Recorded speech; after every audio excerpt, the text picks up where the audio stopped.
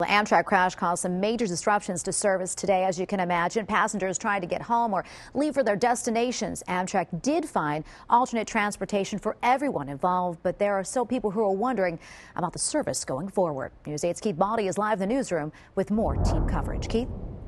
Tracy, the day was not nearly as harrowing for people who were just inconvenienced by the train stoppage, but the disruptions did make it confusing. However, late today, an Amtrak spokeswoman said they hope to have things back to normal by tonight. Here's the plan for now. Amtrak says it is trying to get southbound service restored for the 7:55 p.m. train to Boston, although they say that is iffy. If they cannot operate through the crash site, they will bus people around it. So, if you already have a ticket, you can show up to the station and they will bus you. And Amtrak is hoping to run the train from Boston back to Portland tonight at 11:20 p.m. That would be important for some Mainers who were going to the professional wrestling event tonight in Boston because they would need to get home. Once we get down there, if we don't catch a train or a bus back, then we're stuck in Boston, which wouldn't be pretty. And where are you coming from?